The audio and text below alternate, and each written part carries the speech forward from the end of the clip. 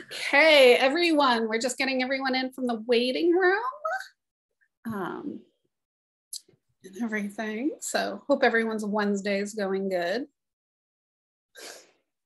Uh, while we do that, I'll do the introduction. So hello and uh, welcome to episode six. I'm Lindsay Randall, the host of the speaker series. Digging In is a series of live presentations with scholars from around the country, co-sponsored by the Robert S. Peabody Institute of Archaeology and the Massachusetts Archaeological Society. We are going to begin with a land acknowledgement for the land that the Peabody Institute and its school, Phillips Academy, are on.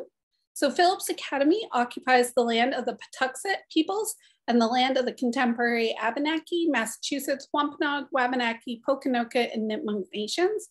We honor all Indigenous people who are here now, have been here for, for time immemorial, and will be here in the future.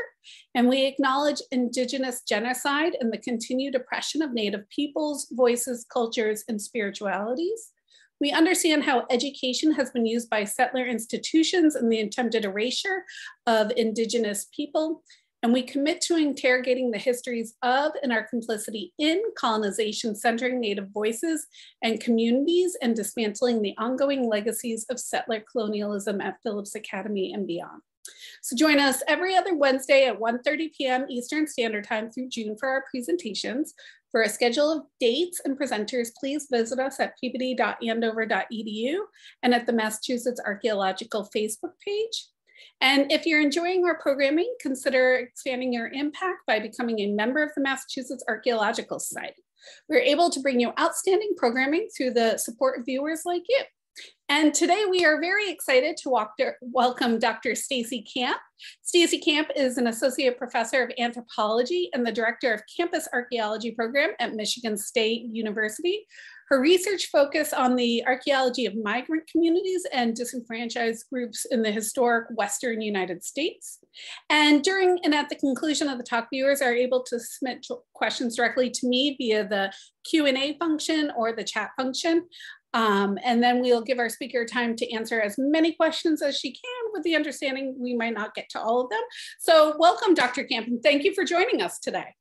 Thank you so much for having me in for that lovely introduction. I'm really excited to be here, and I will definitely do my best to leave a, a good amount of time for questions.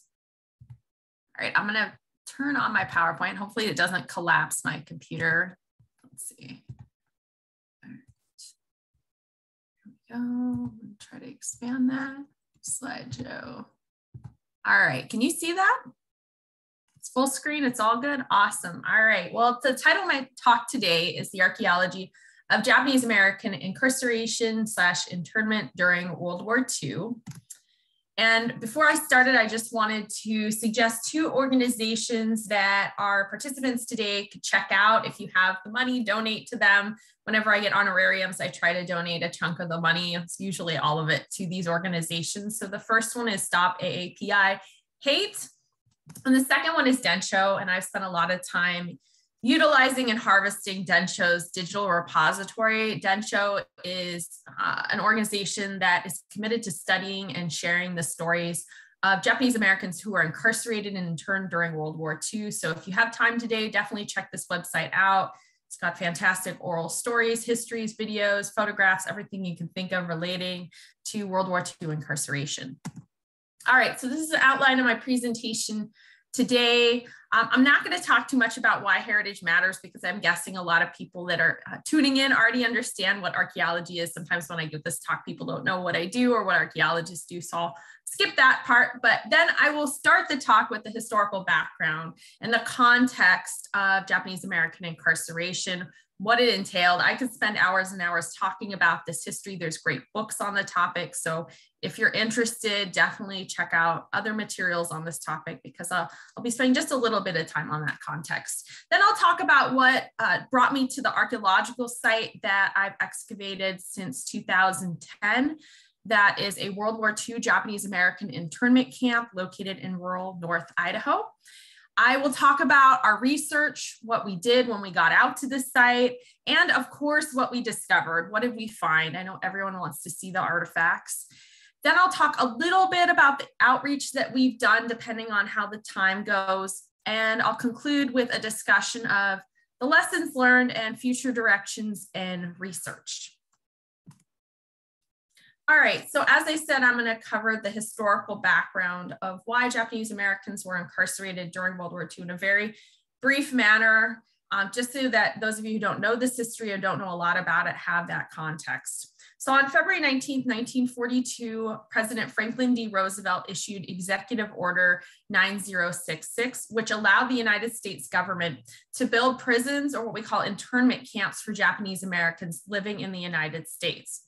At that time, approximately 120,000 Japanese Americans were forced into prisons and internment camps, with over two thirds of them being US citizens. So the people that were incarcerated had committed no crimes, had done nothing other than they were Japanese Americans. Their only crime was being of that heritage. Um, so announcements about incarceration were made on the radio, in newspapers, and posted on signs in Japanese American neighborhoods. Because the government didn't have enough space to readily incarcerate 120,000 people immediately, Many Japanese Americans were placed into temporary housing facilities until more permanent housing could be built. These facilities included racetracks and fairgrounds that were completely unsuitable for human habitation. So when people arrived at what they called these assembly centers awaiting transfer to a more permanent location, they found they had hot, no hot water, um, no medical treatment, no sanitary napkins, nothing that they would need in order to survive there safely. So World War II incarceration of Japanese Americans involved multiple levels of violence inflicted upon the Japanese American community, including cultural, physical, economic, and linguistic violence. In terms of cultural violence, Japanese Americans were not supposed to speak Japanese in incarceration facilities. The schools that children attended in internment camps were designed to eradicate what were identified as Japanese traits, even though, again, Japanese Americans were citizens, had been here for quite a long time, um, but were targeted because of their ethnicity. Uh, Japanese Americans were not allowed to bring in cameras into incarceration facilities, although some of them did actually build photography studios under their barracks that they weren't supposed to and were able to take some photographs of important lives, uh, moments, people's lives in the incarceration camps, but that was an exception to the rule. So Japanese Americans were not allowed to document their life in the camps. The United States government hired photographers to essentially produce propaganda to show that Japanese Americans were Americanizing and that they were ha even happy in incarceration facilities. Some of you may know these famous photographers, but Dorothea Lange and Ansel Adams were hired by the United States government to take photographs of incarceration. And there are a number of books out there and exhibits that document their photographs, some of which were not published by the United States government until much later on. In terms of physical harm, people were physically removed from their homes in the name of safety. They were only allowed to take one suitcase with them. So imagine packing all of your belongings into one suitcase. I mean, I can't get stuff for a trip in one suitcase half the time. So people weren't allowed to bring anything beyond one suitcase of items to incarceration facilities and had to leave everything behind with the plan of never returning to get that get those items. Um, people had to leave their pets behind, although some of them were able to convince the US government to allow them to bring pets. That again was the exception to the rule. When they arrived in permanent incarceration facilities, these incarceration camps were really designed with the military in mind. They were military barracks. The barracks were flimsy, they had poor insulation, depending on where people were sent, usually in uh, the rural West. It could be really cold or it could be really hot. So people were very miserable living in these, these wooden barracks.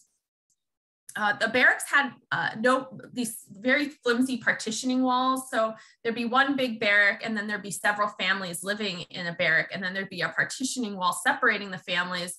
And a lot of the oral histories and letters document how people felt like it an invasion of their privacy. They could hear their neighbors' intimate conversations, and um, that bothered them greatly, as I'm sure you can imagine. The bathrooms, the shower facilities were absolutely not designed with um, the elderly or children in mind. Uh, they also kind of took away people's individuality and tried to dehum uh, dehumanize them. So the bathrooms had no partitioning walls between um, stalls. Same with the showers, it's like one big showering room. So kind of imagine a military installation and what it would look like that's what incarceration facilities look like. So um, people figured out ways to make sure that uh, people's um, privacy was maintained. So some people would stand in front of the bathroom and let other people know if someone was in there. But there are also accidents that happen because of these designs. So children were known to fall through the pit toilets because these were not designed for children to use.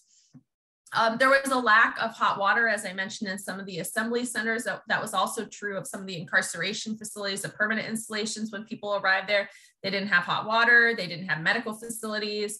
Uh, they couldn't, you know, boil diapers. They didn't have sanitary pads and napkins. So these were not designed with people in mind at all, at all. In terms of economic violence, the loss of businesses, property, and jobs totaled approximately four to five billion dollars. That's an estimate of how much money the Japanese American community lost because of incarceration. So people were forced out of their homes, forced out of their communities, had to leave their businesses behind. And a lot of people couldn't return to those businesses after incarceration. When people left, they had no idea how long the war was going to go on. So they were forced out of communities. In some cases, developers came in and built businesses in those areas.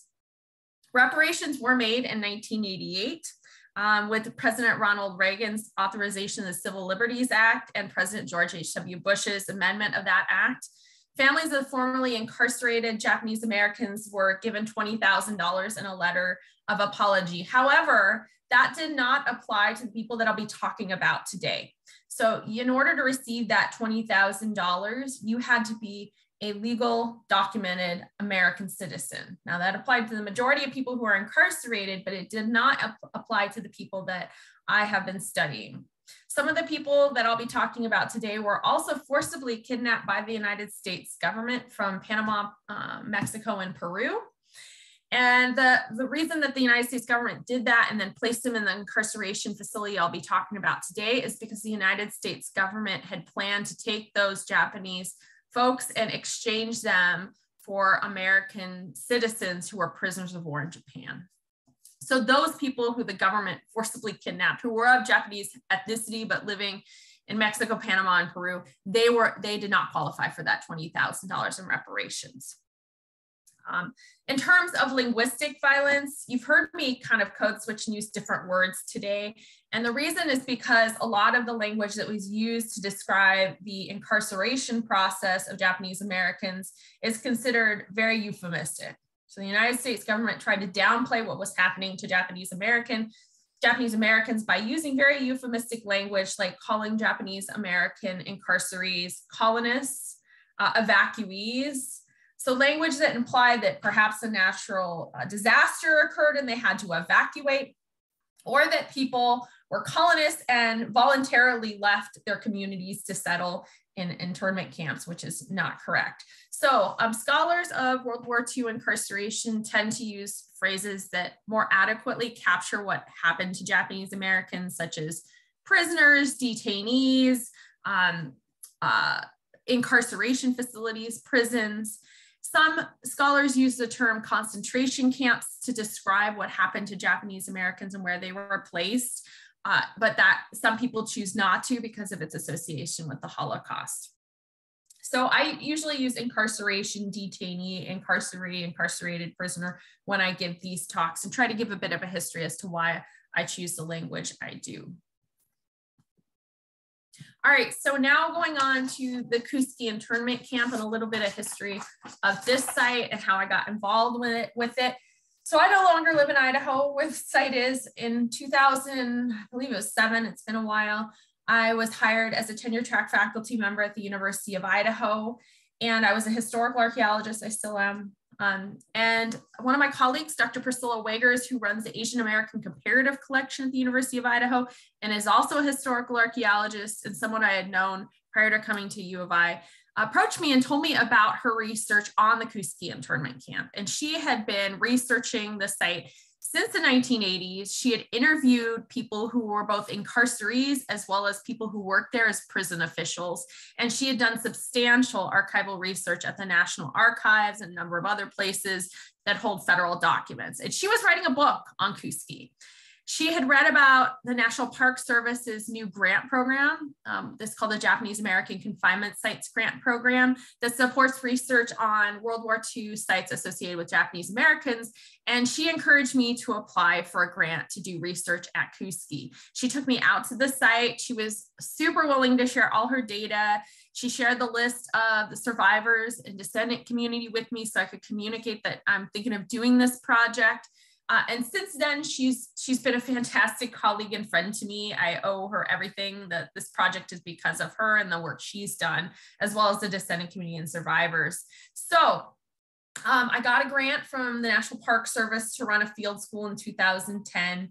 And at, like most academics, I also kind of have to justify why I want to do research at this site. Well, this site is really unique. It's very different than a lot of the other incarceration facilities that house Japanese Americans or incarcerated them. And uh, so the, I'll give you a little bit history as to why it's, it's unique. Well, first off, the Kooskia internment camp was designed for imprisoning people who were deemed enemy aliens by the United States government. That sounds like a really scary phrase, but none of these men committed any crimes. None of them did anything.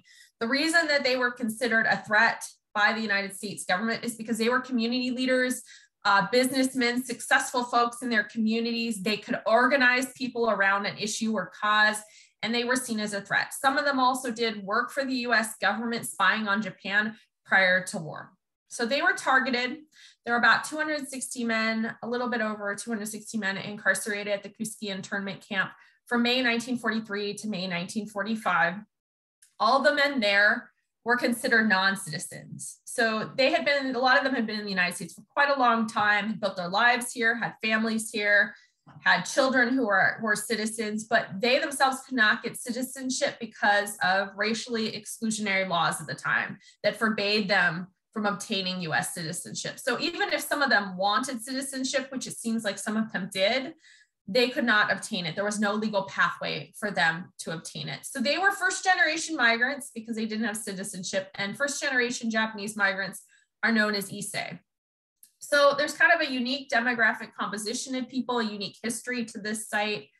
And then another kind of unique thing about Kooskia is that, as they said, these men were not citizens. Now, none of them were, were taken from Japan. They weren't fighting in the war. They were here in the United States. Uh, some of them I mentioned were taken from other parts of the world, but none of them came from Japan during um, fighting in war, World War II. These men, because they were not citizens, were subjected to the 1929 Geneva Convention. And that meant that they were guaranteed certain rights. And we'll explore those in just a minute there. But one of the questions that I had um, on this slide here about this site is were Kooskia's prisoners who are non-citizens, undocumented citizens, treated better than the Japanese Americans who were, were citizens and were uh, imprisoned in what we call WRA camps, War Relocation Authority camps. So were they treated better at Kooskia because they were they were um, uh, the Geneva Convention applied to them? So I'm still trying to answer that question. I'll try to give you some um, conclusions today, but I'm, I'm at the tail end of this project where I feel like I will have some solid conclusions in a year or two. But I, I think the answer is yes, that they were generally treated better than Japanese American citizens, which kind of goes against what maybe some people think about the incarceration experience that people who were citizens would have been treated better, but that certainly was not the case. All right, just going back here. So this is a, um, an outline of why the United States government cared about complying to, with the Geneva Convention. So this is a document, it's called Instructions Concerning the Treatment of an, uh, Alien Enemy det Detainees, which are the prisoners who were held at Kooskia. And the reason that the United States government was so concerned about following the guidelines of the Geneva Convention and making sure that the prison officials and um, employees at Kooskia were adhering to the Geneva Convention is because the United States government was concerned that if we did not comply with the Geneva Convention, that our prisoners of war during the war would be treated poorly. So that's what this, this part of the document is hi highlighting. And throughout the talk today, I'll be highlighting parts of this document which interpret the Geneva Convention and what it actually means in practice for the people that were running the Kooskia internment camp. And some of the people that ran the Kooskia internment camp were not good people and actually got let go because they were not complying with the Geneva Convention. All right, so these were kind of my big research questions. What were, um, what, how were prisoners treated during their time at the Kooskia internment camp? We have a rich archival history. We have diaries from the prisoners. We have work orders. We have letters and correspondence. Now, some of you may know this, but a number of the letters that were sent between incarceration facilities or sent out of incarceration facilities were indeed censored if the government decided that they didn't like what the prisoners were saying or were saying negative things. Um, and, and obviously the archaeological data is the other data source for answering this question. All right. So I wanted to give you a brief timeline history of the site itself, the site upon which the Kooskia internment camp is located. So it has a, a very complex history that's really um, not represented very well with these slides. Uh, it is uh, Nez Perce land from time immemorial to present, but the United States government took that land from the Nez Perce in the past and converted it into a number of facilities. So at one point, it was a Civilian Conservation Corps of Engineers camp, CCC camp, used to build what is today US Highway 12.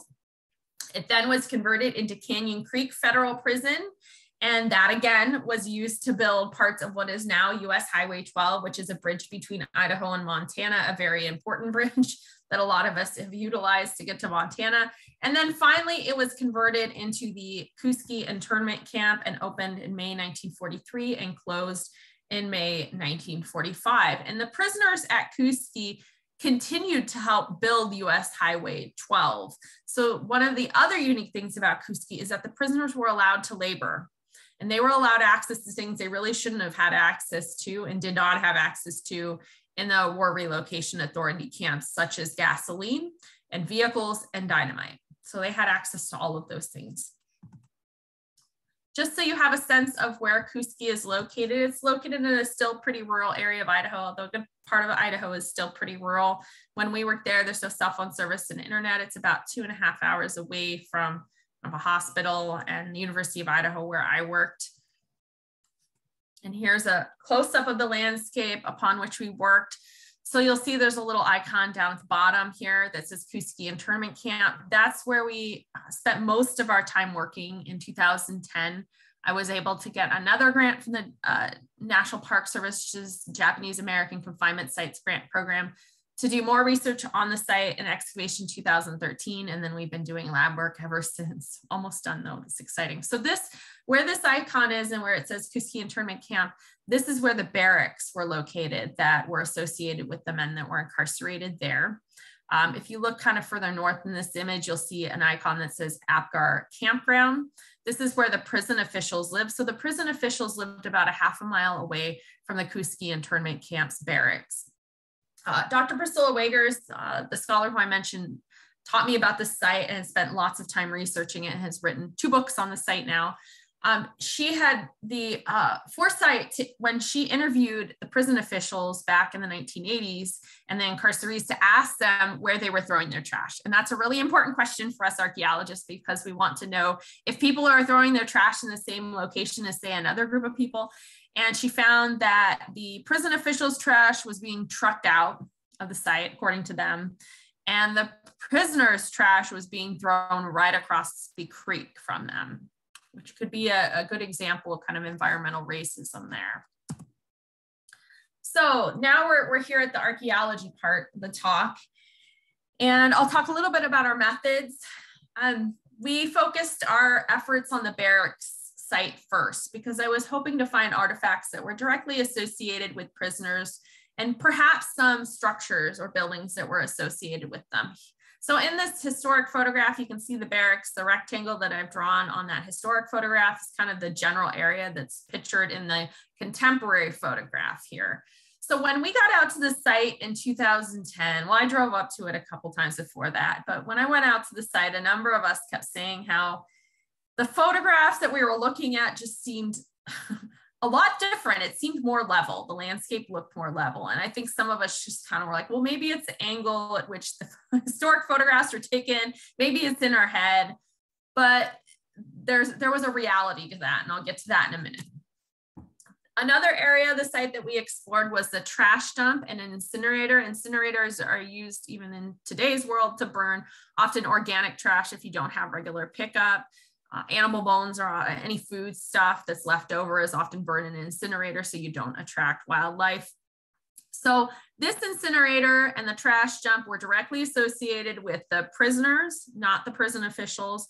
And if you look at the historic photograph, this is a creek that runs through the site that divides the landfill from the prisoner barracks.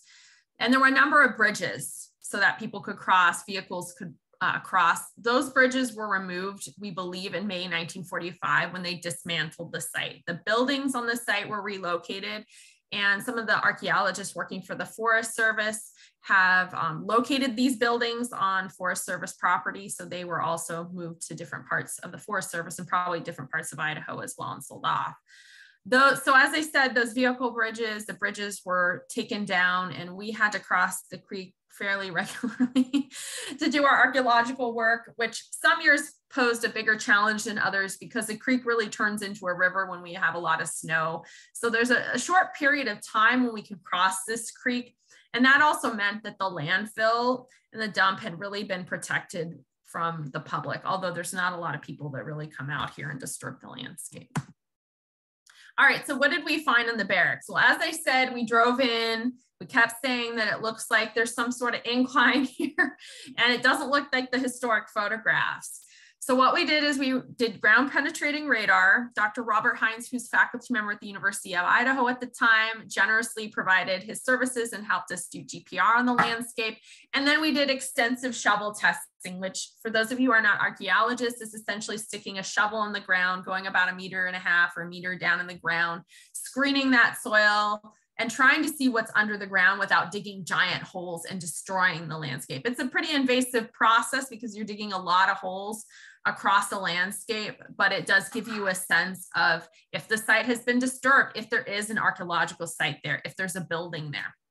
So so the results of the shovel testing and the ground penetrating radar survey. So we did find a building. We think it was a wash house, but unfortunately there wasn't any archaeology associated with the building and we decided we wouldn't spend that much time on it. And the reason why is because you'll see this photograph with a, a man holding a big rock this is Josh Allen. He's now an archaeologist, um, one of my former students a long time ago. So we dug these shovel tests and we kept hitting huge rocks. We hit pieces of asphalt and we were finding projectile points that were thousands of years old in the same soil layer, the same little soil layer as historic beer can pull tabs.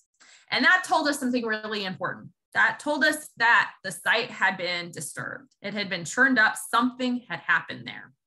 Well, it just so happens that as we are on the site, it's the first field season, one day, and this was like well into shovel testing. So it wasn't like the first day, which would have been wonderful, but it wasn't.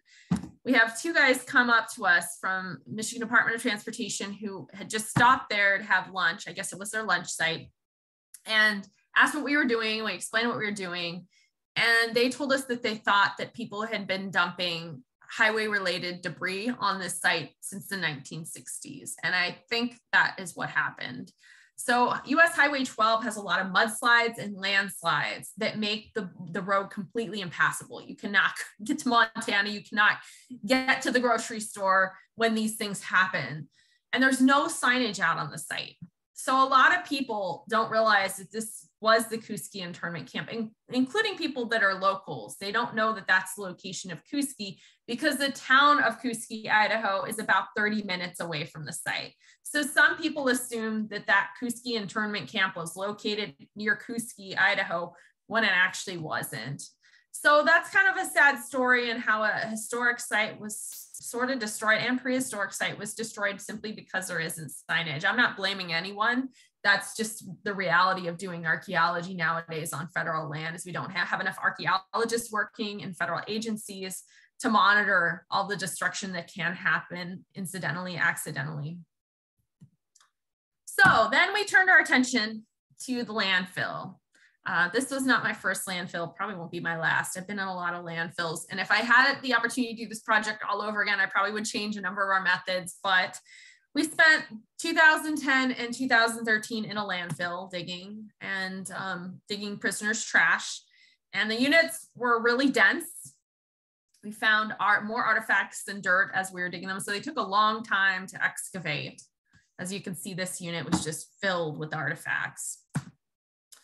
So what did we find? Um, well, just to give you a sense of how long it's taken us to process data, when we left the field in 2010, it took us a year, about a year and a half to clean all the artifacts from that field season, just to clean and like curate them and get them into a state where they could be cataloged. So that wasn't cataloging.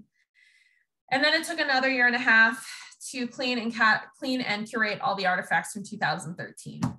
So everything has pretty much been cataloged by this point, and we're at the point where we're doing what we call minimum number of individual vessels analysis. If anyone is working on institutional sites or incarceration sites, I'm happy to share our data with uh, with you. We have lots of data online as well as sort of like, you know, in a folder that's shared with people working on this topic, but we're close to being done. Not quite there, but close. So because we're almost there, I feel pretty comfortable making some of the conclusions I'm going to make today.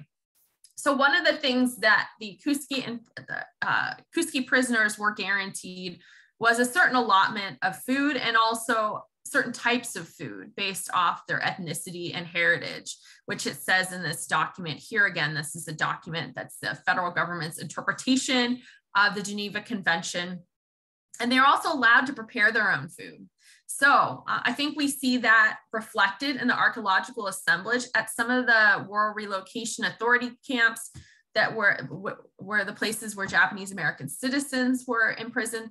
They weren't given access to food or to the kitchens, uh, kitchens to cook their food. So that's a little bit different than what we see at Kooskia. And I think the ceramic assemblage reflects that. So um, one of the things someone said to me early on in this project was, well, you're probably not going to find a lot of Japanese manufactured ceramics because why would men bring them with them um, when they only have one suitcase with them? And, and yeah, so we did find Japanese manufactured ceramics, and these are ceramics people would have had to brought with them.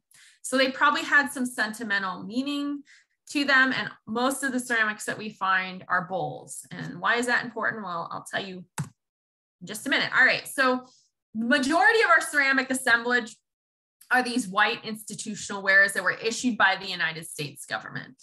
So as we were digging, we kept observing that we were finding so many bowls. But if you look at the historic photographs that were taken of Kooskia by the government, again, these, this is propaganda, you see people eating on flatware. Well, we have way more bowls, way more institutional bowls than flatware. And that is a reflection of the fact that Kooskia's prisoners were allowed to consume traditional Japanese foods here. And that was part of the, the Geneva Convention is allowing them to consume foods that they wanted to consume. The US government kind of went out of its way to procure items that Japanese American incarcerees at Kooskia wanted, which was not happening at the War Relocation Authority camps where you have eight to 10,000 people incarcerated there. So we see that reflected in the Anglo-American ceramic assemblage here.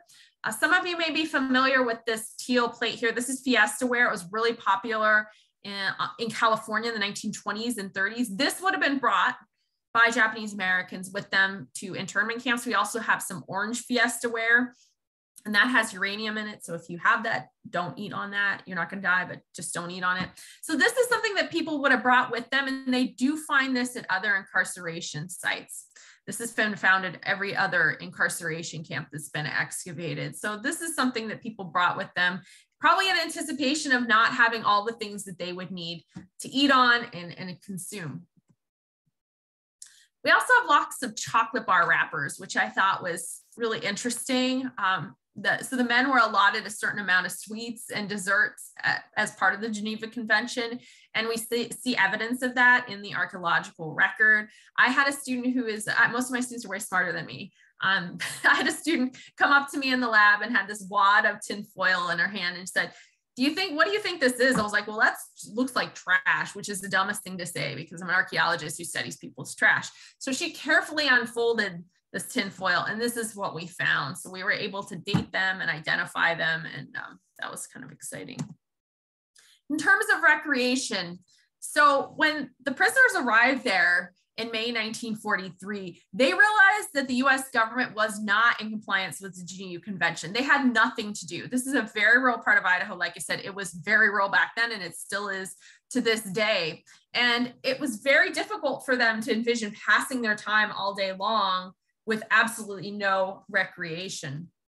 So some of the artifacts that we found I think reflect the fact that when they arrived there, they didn't have anything to do are these gaming pieces. So the gaming pieces in the bottom that are circular are gaming pieces that were used in a game called Go or wei Weiqi.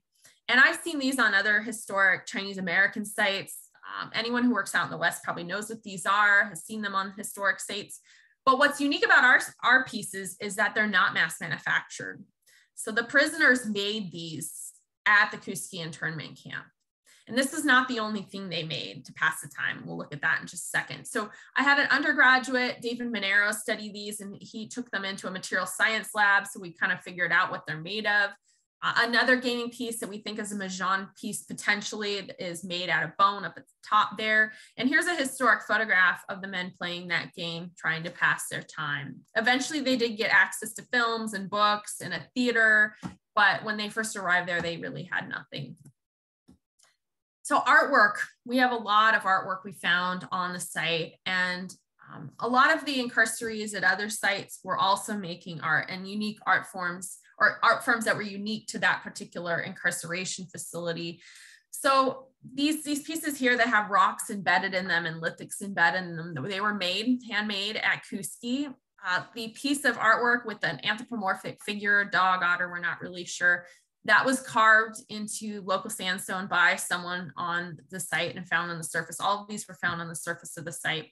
This rock art is it looks to be a tradition that started potentially at Fort Missoula Detention Center, which is where a number of Kooskia's prisoners were held until they were transferred over to the Kooskia internment camp. So you can see they were used as a pencil holder, as um, a plant holder, as a vase,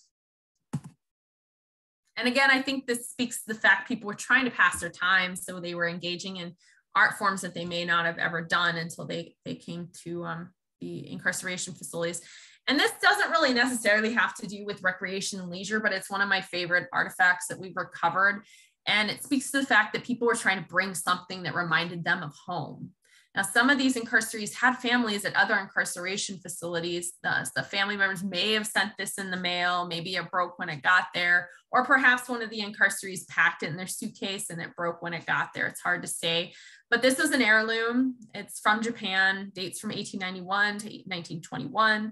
Obviously, nothing was coming into the United States during World War II from Japan. So all the ceramics that we've seen that are from Japan predate the war. But this has a, a dragon on it made out of clay on porcelain. So it was a large vase. All right, health and medicine. Um, probably the, one of the biggest problems at the Kooskia internment camp when the incarcerees arrived there was the fact that they had no doctor and no dentist. And as I mentioned at the beginning of this talk, most of these men were older. They were older gentlemen, gentlemen who had, were in their 50s, 60s. I don't think 50s that old, but um, to be put in a prison at that age and not have access to adequate health care is a problem. So when they arrived, they realized that, again, the United States government was out of compliance and was not following the stipulations outlined in the Geneva Convention. And the prisoners petitioned the United States government, along with prison officials, and I'll tell you why in a minute, to make sure that they had all the things they needed that were guaranteed to them under the Geneva Convention. So as I mentioned, they were working on US Highway 12. They were building parts of it, dynamiting it, even though they weren't supposed to be handling that. Eventually they were told they couldn't. Um, but they had, a number of them had glaucoma and eye problems. And we see that in the archaeological record. And I think part of the reason they had eye problems was because of the documents that illustrate that they didn't have the safety equipment they were supposed to have to do this work when they first arrived there. So a number of the prison officials were angry that the Japanese American incarcerees didn't have access to safety materials, things that would protect them while doing this work. And um, one of the reasons I think they were so vocal uh, about this issue uh, some of them seem like nice people. One of the reasons I think they're so vocal about these problems was because they were disgruntled employees. The person who was running the prison had run the federal prison and was treating the Japanese American incarcerees like federal prisoners. So he was not treating them with respect. He was also treating the prison officials with disrespect. And so everyone was kind of angry. And so the prison officials worked with the Japanese American incarcerees to write this petition stating that they were not being treated the way they were supposed to be treated under the Geneva Convention. You can see in this letter here that one of the people working at Kooskia documented how a Japanese man had had his near ear nearly severed by a falling rock, that they didn't have safety boots, safety belts, safety helmets, goggles. Well, um, and this is a description of the person who was running the prison, who had uh, run the federal prison before. His name was Reamer. His colleagues saw him as intolerant, inconsiderate, uncooperative, condescending, barely friendly, openly opposed to the liberal treatment of internees, and given to passive resistance when faced with suggested reforms. This is the, the a letter written by one of his colleagues saying that he needed to be removed. See if I can hopefully get to the next slide. Kind of froze up. There we go. So Reamer violated a number of aspects of the Geneva Convention, but one was the humane treatment of prisoners. And he certainly was not abiding by this at all. At one point, he had left prisoners out in the rain miles away from the site and um, the car had broken down and the prisoners had to walk back in the rain and the prison officials and prisoners described it as just like humiliating and also something that a number of the older men just physically struggled with to get back so Reamer got fired because of the cooperation between the prison officials and Kooskia's prisoners. And eventually, Kooskia's prisoners obtained access to the things they needed. So this is an example. These are archaeological examples of things that the prisoners were able to obtain because of that petition. So sunglasses were absolutely necessary working out there. Safety goggles, we've reconstructed, Dr. Leah Evans, Janke, who's a former colleague of mine at the University of Idaho, is incredible illustrator and archaeologist, she drew this illustration of the safety goggles that these artifacts would have been a part of. So we were able to identify exactly what they would have looked like back in the 1940s. And here's a close-up of the parts of the safety goggle artifacts. And we have a lot of Murine's eye serum. And I think that again is related to the fact that the prisoners did not have adequate access to medical treatment for their eye issues, which were some of them were pre-existing, as well as eye issues that arose because of their work on US Highway 12. They were consuming Murine's eye serum um, before they arrived at the Kooskia internment camp and before they were incarcerated. That, that's one of the kind of questions I've been asked is how much of this material culture were people consuming before incarceration? And I'll talk about my, my future research, kind of sort of current research project that's been put on hold because of the pandemic. But that's one of our big questions is how much did people's material lives change over the course of incarceration? So we know people were using this particular product before incarceration. So it may have been something people brought with them, anticipating that they might not have good medical care, or it could have been something that was prescribed to them at the facility. And then this is a, a, a, we have two of these bottles and these are kind of unique. It's, to my knowledge, this is the only example of this particular medicinal product being found at any of the incarceration sites. This uh, is a Wakamoto Pharmaceutical Company medicinal supplement. It's a gastrointestinal supplement called Source of Youth, and it was particularly marketed to older people. So it's kind of interesting that you're finding this at a site where there's older people who are having to do physical labor and they're consuming something that they clearly would have brought with them. This is not something they would have been able to obtain while incarcerated. They would have brought with them to the camp. So the states 1929 to 1943, but again, they would have had to buy it before being incarcerated. And this is what the uh, complete bottles look like. So we have one aqua bottle and we have one brown bottle. And Wakamoto Pharmaceutical Company still exists today. So we were able to email them in 2011 and obtain examples of the historic advertisements, which was great. They responded super quick, which was amazing. So we have a sense of what those bottles look like in the past. We have a lot of toothpaste, a lot of toothbrushes. Uh, we have one toothbrush that has Japanese characters on it. We've had a couple different translations because it's kanji. Um, but what's interesting about this toothbrush is to our knowledge, only one other toothbrush like this has been found in the United States, and it was found in a dig on Terminal Island associated with a Japanese community that predates incarceration. And a number of the men who were incarcerated at Kooskia, Idaho came from Terminal Island. So maybe that there was a store selling this particular toothbrush, but I know there's got to be a bigger story behind it that maybe someday we'll, we'll find out or discover. And then we found denture molds, which I've never found on an archaeological site. We found fake teeth, which is down here below. And as I said, when they arrived, they did not have a dentist. They had a petition for a dentist and they did get a dentist. Um, and I think a lot of these artifacts that we found reflect the age of the people that were there, such as the denture molds and teeth, fake teeth. So going back to that kind of original question that I posed at the beginning of the talk, you know, were Kooskia's prisoners treated better than WRA prisoners who were American citizens due to the Geneva Convention? I think the answer is yes. I, I think there still needs to be a bit more research and comparative work done, which is a whole other talk, but I'm, I'm not going to go there today. But I pulled this, this description, a letter that was sent to uh, incarcerate at Fort Missoula from his child who was held in an assembly center. So this is not a permanent um, permanent incarceration facility. This kind of describes the conditions, which were much worse than Kooskia. Even when Kooskia's prisoners arrived there, they and at Fort Missoula, which was another uh, detention center for people deemed enemy aliens, things were much better there. People were were pretty happy given the situation.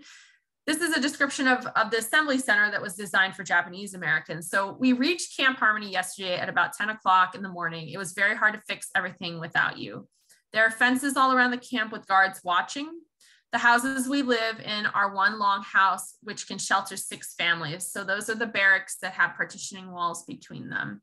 Our three families are living next to each other. We are living in the middle of three families. Everything is very inconvenient. We made mattresses out of straw, so they didn't have mattresses. The room smells like an elephant's pen. We got new beds and a new blanket. There is a stove in the center of every room, one small window and a door. There are holes in the wall, so we cover it with cardboard or boards. Again, no insulation. The food we eat isn't bad, but it doesn't taste like the ones we used to eat at home. We eat in one big hall. It is very cold in the hall. There is one big lavatory in our camp. That's a bathroom. The lavatory has only two sinks and the whole camp has to wash and drink water from that sink. The showers are awful, no curtains. The showers are all in one place, back to back. No hot water except in the mess hall. So the conditions are very different than what you see at Kooskia. All right, so I'm going to transition from the archaeology to community outreach, and then I hopefully have some times for questions. Uh, so community outreach is a really important part of archaeology. I'm sure many of you know that public outreach is essential. None of the people who are incarcerated or survived incarceration are in the surrounding area of Kooskia, Idaho. So there are some people who are descendants of the prison officials that were at Kooskia internment camp and people were very interested in the site's history. Like I said, a number of them didn't even know where the location was of the Kooskia internment camp. So we did a number of public archaeology days. We brought youth out to the site when we were working in the barracks area. It's not safe to bring youth across the creek, so we, we don't do that. And we also partnered with Three Rivers Resort um, to do a number of youth summer camps and youth camps so they could learn about archaeology and learn about the history that was in their community.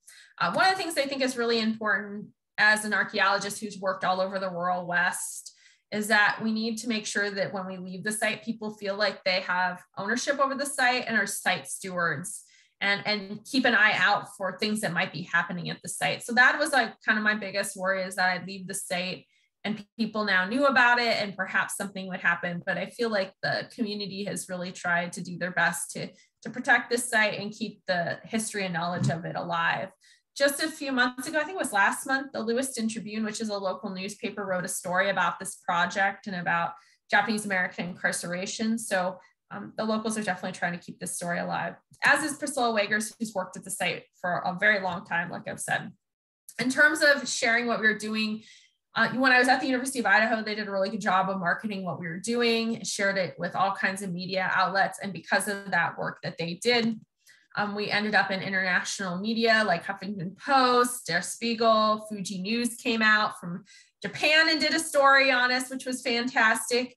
Um, I think the only downside of that is that there were a lot of people who came out and said really racist, xenophobic things on some of these publications. At one point, there were 8,000 comments on the Huffington Post article about this site. And a lot of that was pretty hateful rhetoric that we all have seen increase uh, over the last six, seven years. We share our data. As I said, we have come an open data sharing ethos on this project. So if you go to internmentarchaeology.org, you can see all of the data that's been cataloged thus far. There's still some things that we're entering every day pretty much. Um, but you can see a lot of the artifacts and see the archaeology. And let's see, last year I got a grant for the National Park Service's Japanese American Confinement Sites Grant Program with my colleague, Dr. Ethan Waltrail, to build this out and make it an accessible digital platform for the public and descendant communities and survivors. So we have an advisory board um, that advises on the kind of content that will go on there, including 3D models of artifacts and artifacts that relate to four themes that have been identified as essential by uh, descendant community and the advisory board. So future research, I probably will step away from this project once we no longer have funding for it.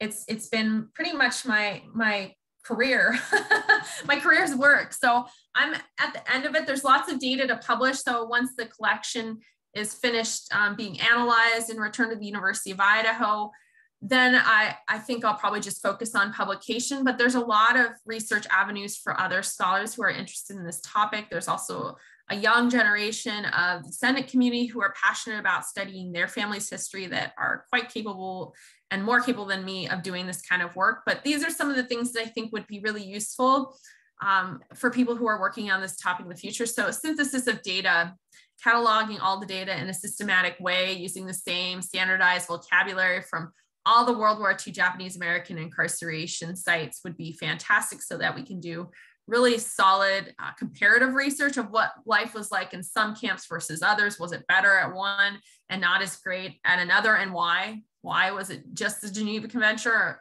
was it better at one WRA camp versus another and why? Why were those differences there? Uh, mapping the global circulation of goods from incarceration sites. So we do know people were mailing some items between incarceration camps, but I'm not sure. I, that would be something I think someone could write a whole dissertation on and explore is how did these goods circulate between camps? Uh, a longitudinal analysis of Japanese American consumption patterns. I'm part of this research already. But one of the big questions I've had and that I've already mentioned is how do people's material lives change over the course of incarceration? So to answer that question, you need data prior to incarceration and data after incarceration. And I'll get back to that in a minute. And then transnational work in Japan. We know that Japan was modernized way before the West and had fantastic commodities and uh, sanitation in their communities. So there's been some good books talking about what Japan was like in the 1700s and 1600s in, in terms of the consumer market and sanitation, but that would be a fantastic uh, couple of dissertations. So getting back to that question that I just mentioned of, of trying to explore what Japanese Americans' lives were prior to incarceration, after incarceration, one of the projects that I started up prior to the pandemic and then um, had a colleague of mine, Dr. Koji Lau-Ozawa, join me on is studying uh, J- Japanese Americans' lives in Santa Barbara, California, prior to World War II incarceration. And there is an archaeological collection there that is incredible. It's super rich and has not been explored in depth at all.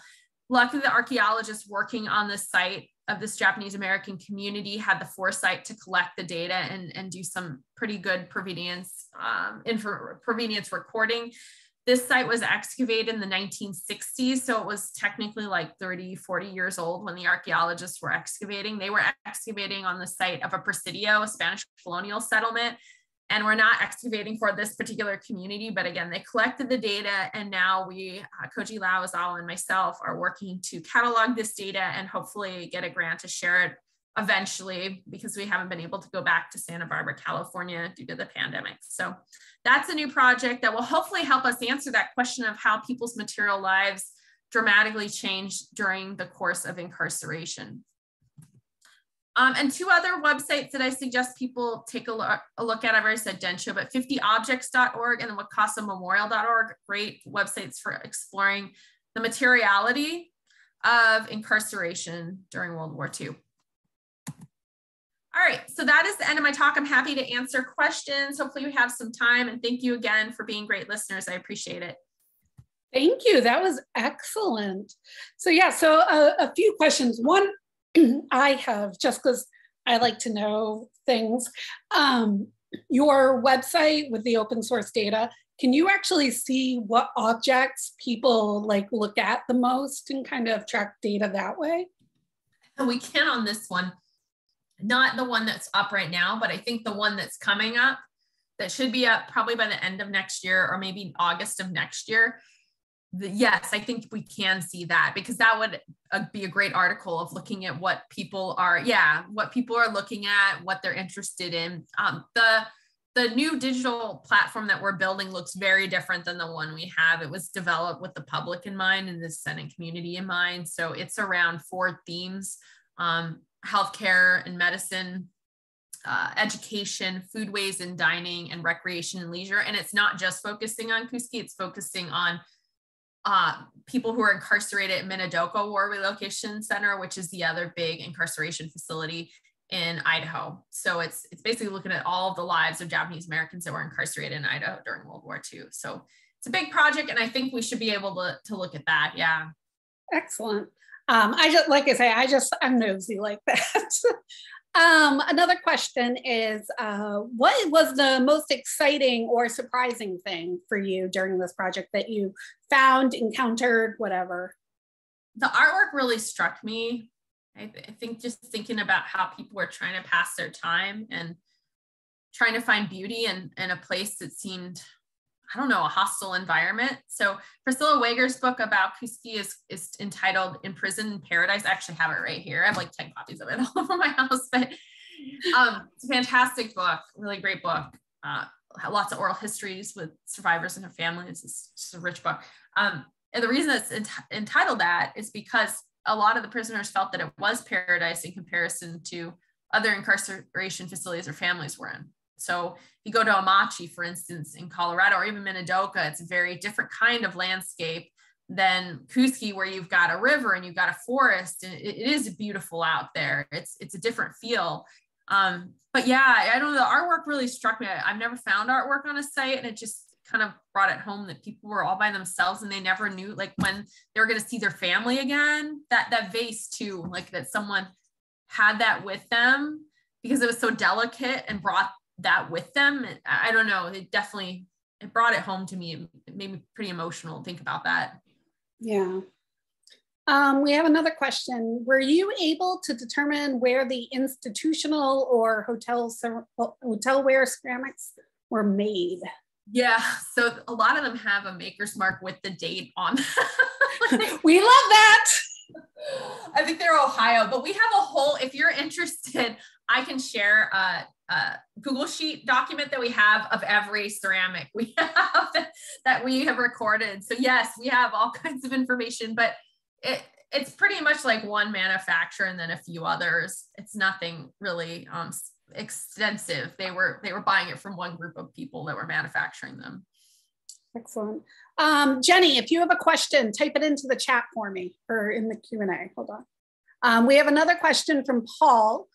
Were these internment camps a West Coast thing or are there examples in other parts of the United States? There's a few examples in other parts of the US in the South. There's one in Arkansas, but for the most part, uh, it's in the uh, rural West. So away from cities, away from the coast. Most of the people that were incarcerated were people that lived on the coast and were then taken away and, and put into these more isolated areas. So, so yes, but not a lot. Okay. Well, those were the questions I have from everyone. So thank you, Stacy, Dr. Camp, uh, for joining and talking with us today. And thank you to all our viewers for joining us. And we look forward to seeing you at our next lecture, which will be on Wednesday, April 20th. And we will be joined by Dr. Troy Lovata, who will be speaking about arbor glyphs tree graffiti and its role in uh, Chicana uh, studies. And again, we rely on the support of viewers like you, so consider supporting our outreach by becoming a member of the Massachusetts Archaeological Society. So have a wonderful day, everyone. Thank you.